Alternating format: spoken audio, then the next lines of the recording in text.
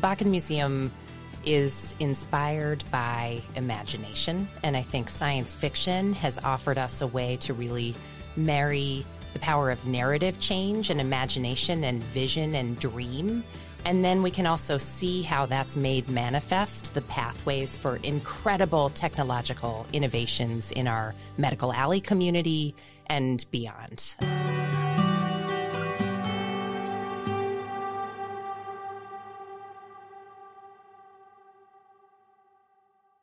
The Medical Alley podcast is brought to you by MentorMate. MentorMate empowers healthcare clients to deliver on their mission and transform the human experience through technology. For over 20 years, clients have trusted MentorMate to guide their vision, design innovative products, and build secure solutions while understanding the specific nuances of their industry. MentorMate's global team in the US, Eastern Europe, and Latin America helps clients in all sectors of healthcare transform their organizations, from Fortune 500 pharmaceutical companies and commercial payers to hospital systems, medical device manufacturers, and beyond. Learn more at mentormate.com/healthcare.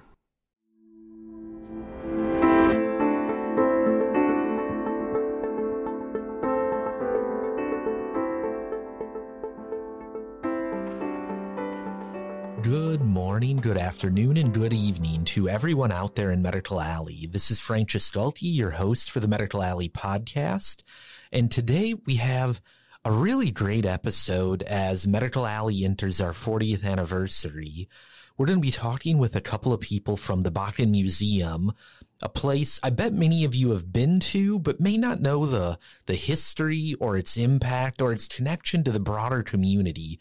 So I'm so excited today to be joined by their CEO, Alissa Light, and by Adrian Fischer, who's the curator of exhibits and collections. We're going to have a bit of a discussion today, and I hope after you hear this, uh, you're inspired to go check it out, maybe for the second time if you've been before, or a first time if you haven't been.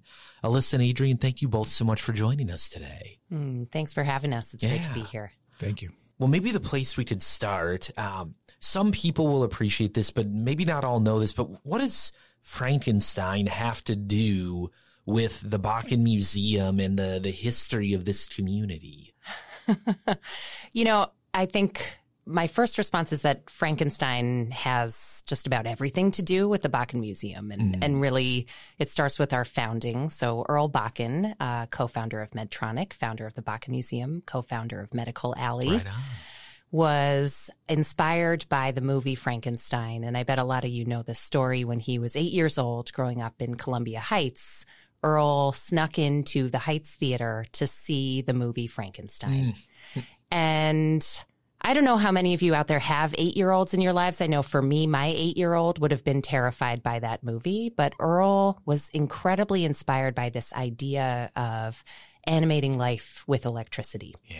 And when you think about the power of that storytelling and what it meant to eight year old Earl, who then went on to invent the external battery powered transistorized pacemaker, mm. saving millions and millions of lives and founding the incredible innovative company Medtronic, there was a seed planted when yeah. Earl saw Frankenstein.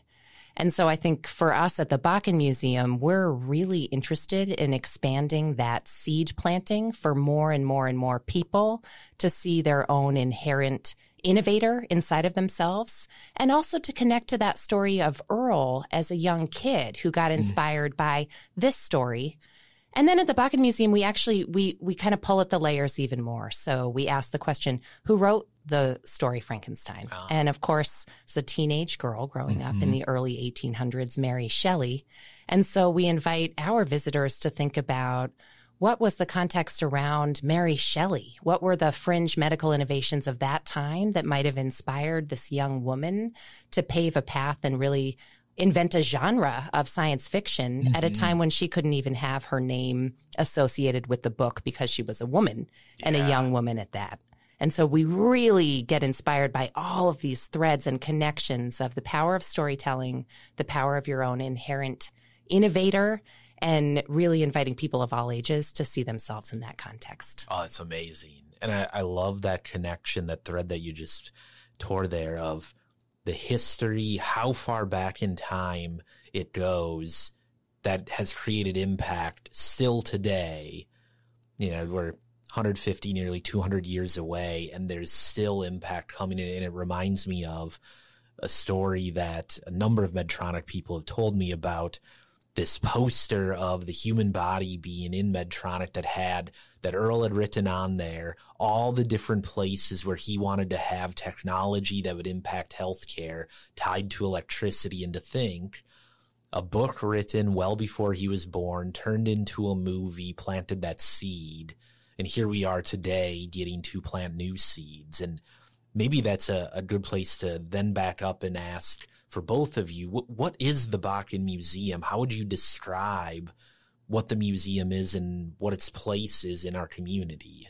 Well, um, I'll start and then I'll look to my colleague Adrian mm. as well. But, you know, to me, um, the Bakken Museum is uh, an incubator for innovation. Mm. It's a place where people can come and feel a sense of connection to each other, feel a sense of wonder and curiosity. Uh, we really invite people through the museum experience to explore and um, keep an open mind, just as Earl would, about the many different modes and ways we might come at innovation. Mm. We invite people to think about and connect to their own lived experience and personal story and really see that as a formative part of being an innovator. And I think, you know, the Bakken Museum is also, it's a, it's a community, well, it's a community museum. So mm-hmm. we see ourselves as a place where many different people can find a place and a, a sense of belonging in the museum. But we don't stop there. We also um, look to really our founding root with Earl's tinkering habits yeah. and sense of failure and ready, fire, aim concept. And we really imbue that in our education programs. Mm. So we have leading edge education programs, both on site in our makerspace in the museum, in science studios, which is a free with the price of admission, really weekend experience at the museum, as well as our summer camp program, which explores really project based, open ended inquiry, hands on STEM invention for young kids. And then we take that model and we bring it out. So mm-hmm. we do workshops in schools around the state, actually 43 counties, 150 wow. school partners, 20,000 kids. And we bring workshops and residencies uh, that invite laughter and science theater and hands on experience in these core STEM concepts that I think inform some baseline STEM literacy mm-hmm. and STEM confidence. And even more than that, a STEM mindset, which mm. is to us a mindset that's open to failure and iteration yeah. and celebrates that process of problem solving. Mm. What I didn't talk about, though, which I would love for Adrian to talk about, is our incredible rare book and artifact oh, collection, yeah. which is an incredible heart of the Bakken Museum. Yeah. And that's, yeah, thank you. Um, I appreciate that. And that's actually the origin of the institution oh. is the oh. collections. Um, so Earl Bakken in the early Medtronic days um, started a collecting program, um, collecting rare books and artifacts, medical devices. Really, the scope of the collection was the history of electricity and magnetism um, and the intersection with that in the life sciences and medicine. Mm. So that comes straight out of his interest of Frank, for Frankenstein, right? And so this was first housed at Medtronic. It was a small team that would kind of acquire these pieces. And the basic idea for starting this collecting program and, and kind of initiating that collection really was – to take a look at what had been tried in the past, what had been done oh. in the ah. past, what had been written about in the past, and think about and be curious about those kind of things, and think about where we may take some of those concepts mm-hmm. in the future. Right. And so it was not just for Medtronic employees, but it was for Medtronic employees for, for sure as well. Um, but anybody who was interested, anybody who kind of you know, was interested in that kind of topic, to come and really get their hands on. Again, here's a hands-on emphasis. I think that is so important to understand yeah. Earl and those early Medtronic days and, and kind of his philosophy. Um, really, we try to get people, you know, can use and and do research or look at pretty pictures. I sometimes say um, um, we we try to make that all happen, right? So the collections are open to the public. Anybody can come um, and do research um, in those in the collections. So we have about um, 2,600 artifacts, Oh. objects, and about 11,000 books and manuscripts. Um, That kind of span quite quite quite a few um, centuries, um, so to speak. Where, where do those, where do you see those today getting used the most? Is it still the, the technical community? Is it the research community? Or how is that collection, would you say, being used today? It really varies Yeah. widely. Um, there's some technical aspects. People do come and look at things and, you know, think about, okay, what, what did they try to do back then? How Yeah. did it look like? You know, what did they put together? You know, and we want to maybe apply a simple, a similar concept, you know, um, and then kind of get inspired by some of those things. But we also worked and, and, and do work with a lot of artists, you know, that look at, you know, um, like approaches, you know, to, Ah. to, to health, you know, to well-being and those kind of things, right? And it's very interesting that maybe kind of photographers maybe um, writers, you know, it's it's really it's really um, broad. We also have worked with kids, you know, working on their Mhm. History Day projects. Yeah. Um, so really getting them some original kind of um, content, you know, essentially that they can look at um, and use for their projects, whatever that may be. So we're really open for Mhm. anybody to come and, and kind of see what they're interested in and then kind of helping them in making it happen Yeah. and providing them with the kind of the resources that we that we have. Oh, I love that. It's a beautiful impact. I mean, it, I think if I come back to the Frankenstein piece for a moment, you know, that would seem on face. And I, I can remember reading it as a kid. I can remember seeing like the Robert De Niro movie as a kid, how science fiction-y it seemed, right? Like, oh, that's absurd. And then fast forward to today and how many applications there are of using electrical stimulation to treat conditions and how advanced it is now getting. You know, when we talk about like neuromodulation and bioelectronic medicine, that spark like truly was inspirational and has created impact for probably hundreds of millions of people. I'm curious then, you, you started talking a little bit about the educational programs. Could either of you expand a bit more on those and the, the impact they're having and maybe for the listeners who might have kids in school today, what they should know about them if they want to take advantage of them? Yes, yeah. Uh, you know, and I love what you said. The Bakken Museum is inspired by imagination. And I think Mm. science fiction has offered us a way to really marry the power of narrative change and Oh, imagination and vision and dream. And then we can also see how that's made manifest the pathways for Mm. incredible technological innovations in our medical alley community and beyond.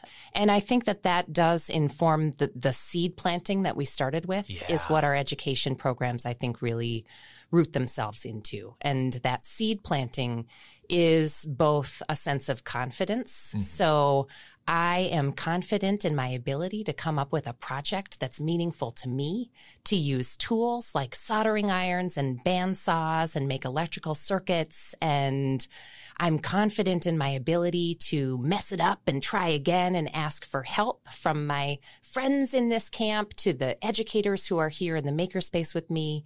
And at the end, I'm going to be confident in sharing what I invented. And so our education programs use uh, an innovation philosophy of wonder, try, discover, share.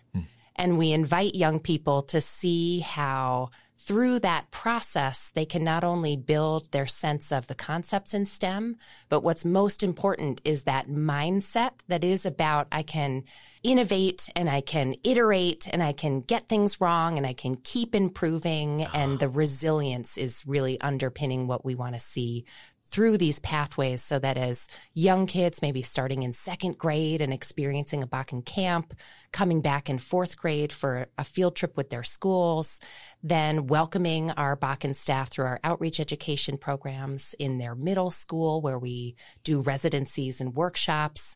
And then they come back and they serve as a summer camp counselor in their high school years. And then they go on to college, some of whom go on to work at Medtronic, mm-hmm. some of whom go on to start their own tech companies and everywhere in between. And so we're walking alongside young people in their journey. And the idea in our education programs is that we're supporting the mindset and the capacity to continue and persevere in a STEM field and ultimately in a thriving life, because we think all of these skills actually come down to supporting you to live a thriving and vibrant life. But I will just say that the uh, Makerspace summer camp programs mm-hmm. are some of the most incredible education tools I've ever seen because the kids are using truly hands on tools and project based exploration to come up with something that they make for themselves that's relevant to them. And I think in our STEM education models, we sometimes forget how important that relevance connection yeah. is to sustaining someone who hasn't perhaps historically seen themselves as a part of STEM to start to see themselves as a part of STEM. Mm. I belong because this is relevant to me. And I've been invited to think about how my own relevance is actually very valuable in STEM as well you know, I almost feel like we should run some of those for uh, the companies. That wonder, that perseverance, that willingness to fail. There might be a few of our corporate members who would find that, I think, invigorating and useful for their teams as well. I'm curious though, like you've then also got the exhibitions going on, drawing from the collection. Maybe a really basic question, Adrian, to start. There's probably some of our listeners who don't know what it means to curate or to be a curator, could you tell them what is a curator? And then you talk about how do you approach or how does the Bakken Museum approach curating exhibits for the broader community? Yeah, this is a very good question. um, a curator, well, starting with the collection, uh, it's really about you know, managing the collections, kind of preserving the collections, right? We want to make sure that these pieces that we have are, you know, going to be preserved for generations to come. Mm-hmm. Um, we also, of course, take on new th- items into the collection. So the collection also changes over time, right? Mm-hmm. And the mm-hmm. curator is kind of there to to guide that kind of development of a collection. W- with exhibits, um, it, it really the question really comes comes down to relevancy and what mm-hmm. we can mm-hmm. provide that is relevant to the community sometimes you know it's it's it's broader it talks about innovation and inspiration yeah. in general right it's, it's it's just essentially an outlet for people to kind of try things out mm-hmm. and and and and be you know curious about the world or principles or those kind of things sometimes it's really just providing pieces from the past that people yeah. can kind of be inspired by can look at can think of like um, what that did in the past, who used it, you know, who, you know, what is the social, social cultural context essentially, mm-hmm. um, for those pieces. We also, of course, you know, you know, understanding that, you know, STEM has predominantly, you know, has been predominantly, um, male and, and, and white, you mm-hmm. know, we mm-hmm. also want to kind of, you know, inspire people essentially through exhibits, um, to feel, you know, to, to feel they belong also in that field. People of color, women, other kind of you know diverse kind of aspects of of yeah of the field yeah, yeah. and um and and also finding of course these stories within kind of um, the history of science technology that are inspirational, right? That are not been told, right? Mm-hmm. That are mm-hmm. quite often forgotten, right? And so, you know, finding those stories, presenting them, and and I think that's you know that's also a, a huge kind of um, oh yeah part of what we what we're trying to do. I mean, I'm I'm hearing a, a theme from both of you of storytelling and of providing new storylines for our community and for our industry, and that that deeply resonates when I think back to the history and the founding of Medical Alley. Gerald Bakken was involved with, Governor Perpich, and then a guy named Lee Berlin who came out of 3M. What they really wanted to do was to change the story that this state told about itself to the world, to be the state that took care of people, delivered better health care, whether it was through care delivery or payment models or technology innovation. And, you know, we're coming up on our 40th anniversary and we're realizing how powerful that storytelling can be. If we, if we tell ourselves as a community a story of decline, we will decline. If we tell ourselves a story of opportunity and growth and that we can change things, we will grow and we will change things. And I'm hearing mm. this theme of whether through the exhibits or the educational programs, the Bakken Museum, providing those storylines, providing inspiration from our history, but making it relevant to people today. I mean, it's very inspiring. And so, Alissa, I'm wondering, as you all approach that 50th anniversary, mm-hmm. What do you think about the the future vision of the museum? How does you know not that you can project the future, but how does the next 50 years look for the Bakken Museum? Hmm. Thank you for that question. Yeah. I think for us at the Bakken Museum, when we dream into the future, what we imagine is more and more people finding themselves feeling inspired, mm. awake, open, imagining another world that's possible that we can do through innovation. We can do that through our sense of connection to each other.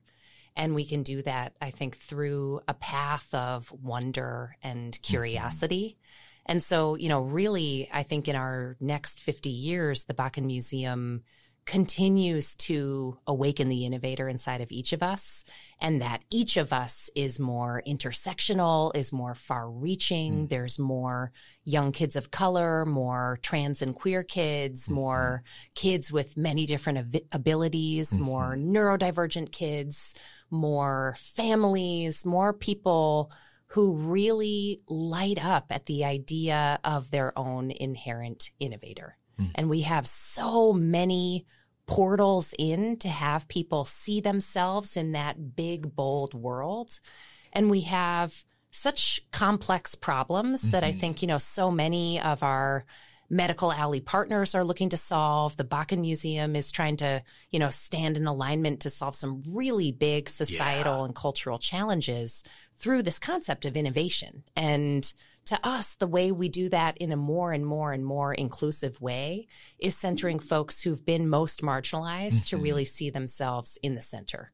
And so 50 years from now, we're going to be doing that in bigger, bolder ways that we couldn't even imagine because mm-hmm. it's going to be co-created with the people that we partner with and the people that we grow our programs in collaboration with. Right on. Well, maybe last thing I'll ask then for each of you. You know, we're we're still early in the year when we're recording this, right? Right at the end of February. We've got a whole bunch of stuff coming up this year. I'm curious, what are each of you most looking forward to at the museum this year? What should we be on the lookout for? Make sure not to miss. Actually, we're, we're doing a book club. Um, that's that's, ah. that's quite exciting. Um, so we're reading a book. Um, we are electric um, is what it's called. And um, we uh, will supplement essentially the reading with um, pieces from the collection to give it context oh, um, yeah. and to kind of talk about more, you know, other, you know, principles or concepts that are related to to, to the book. So that's that. that's usually very um, exciting. It's a very intimate kind of atmosphere. Mm-hmm. Um, and um, so that's that's that that's usually a highlight um, from from from our perspective. We're also currently working on an experiential plan, so we're thinking about ahead, you know, five ten years, um, what our spaces kind of will you know um, look like, what will oh, they yeah. kind of you know be used for, what else can we kind of um, um, do, who can we partner with to mm-hmm. to to to achieve you know all the things that Alissa just mentioned, right? because there's there's way more out there that still we can kind of you know connect to and kind of you know work with, and that you know we can't do it all ourselves, right? Right. So um, so yeah, and there's a couple of fun events obviously um, happening for the public as well. Others. Mm-hmm. I can't yeah, wait to. You? I need to order my book club. okay. Are there st- well, seats still left? Yes, there are still some th- seats left. You know, I I love every single season at the Bakken Museum mm-hmm. because um, our campus is so right. profound. So we have restored wetlands, we have a green roof, we have a medicinal garden. Yeah.